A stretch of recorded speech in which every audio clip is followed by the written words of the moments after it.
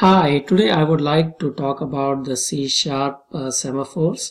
So let's get started. I have a little uh, program that's pretty much illustrate how you can use it. So I'm acquiring a new semaphore and as you can see from the signature it has a, a initial count which I have given it the same as the maximum count and then it gives a name because it's a global semaphore and in, and it will come up back with a variable out and I've given it a name sem created. So I would know that semaphore is created. So one thing with the semaphores is they can be uh, you can have a, a, count of more than one but I'm initially just using one. And uh, that would indicate how many semaphores you can acquire. So if semaphore is created I just print the semaphore was created. And then I just wait on this semaphore and then I say press any key to release the system semaphore. It's a system semaphore because it's named. And then I uh, wait for something to be keyed on the console. And at the end I release the semaphore.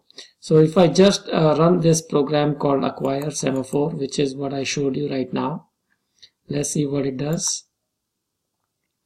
Uh, basically it is telling me that the semaphore uh, was created uh, here and it's a system semaphore. It's a different program. And then I can press any key to release the semaphore. So let's say I'm not uh, pressing any key and let's leave it like like that now. So if I go into another program which is also going to use the same semaphore it's, a little bit similar. So you can say if it's to print the message semaphore was created. I have a, a five tasks uh, here.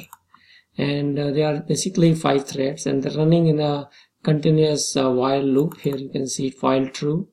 And they each of these threads tries to acquire the semaphore. If they are able to acquire uh, they basically print some message saying working and the name of the thread or number and then they re release the semaphore. If they're not able to do it then they just say sleeping sleeping. And uh, in the end I compare that all the four five threads have had a chance to do this. So let me just put a little breakpoint here so we can oh so it says it's a little bit different. Let me just make sure it's uh, rebuilding it. Okay.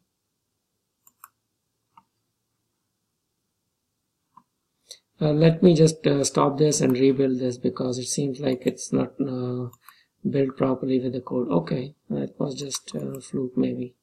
So let's just uh, do it again. So I have that other program and now I'm going to run this program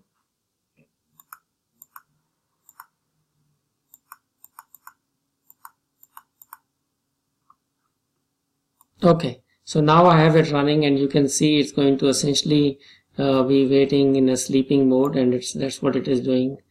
And since it cannot acquire the semaphore because it's been acquired in a different program so it doesn't come here it comes over here and it just keeps printing sleeping. So if I go to the other program which I showed you where I have the semaphore and I can release it so I can press one here and release it and if I release it uh, all the threads will get to do the work and I'll come to the very end. And you can see here it says working thread five of the threads are working and it came back. And if I let it go it should be all done. So you can see the advantage here was that uh, uh, the semaphores can be used across processes and programs.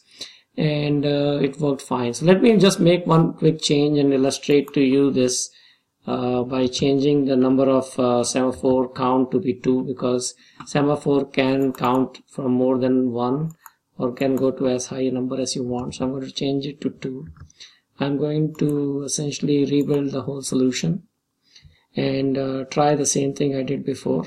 Uh, just take uh, give it a minute. It's right now building. And one difference you would note now is if I go into this other pro first one program and if I try to uh, just put in a, a, break at the end of the release so let's that's what I'm going to do. So if I say debug start new instance and it's going to do the same thing because it's you waiting for me to do the read line. But the difference is going to be in the other program. So if I just start that other program see here it uh, completed right away because uh, I only acquired one semaphore in this program right the first one. So one semaphore is still available. And so the other program is able to essentially acquire the other semaphore and continue on and it's able to complete it uh, it has completed it uh, pretty much and done with it so you can see that this is the advantage with the counting semaphores. You can have more than one key. This one is still waiting because it's waiting for me to key in. So if I key in it should be all done and it comes up over here. It read the read line and done and releases the last one and it's all done. So hopefully if you have more than uh, um, one semaphore you can use it to determine the number of semaphores that are available for synchronization and hopefully you find this interesting. If you want to learn more you can essentially go to my website Gaur Associates. Thank you for watching this short screencast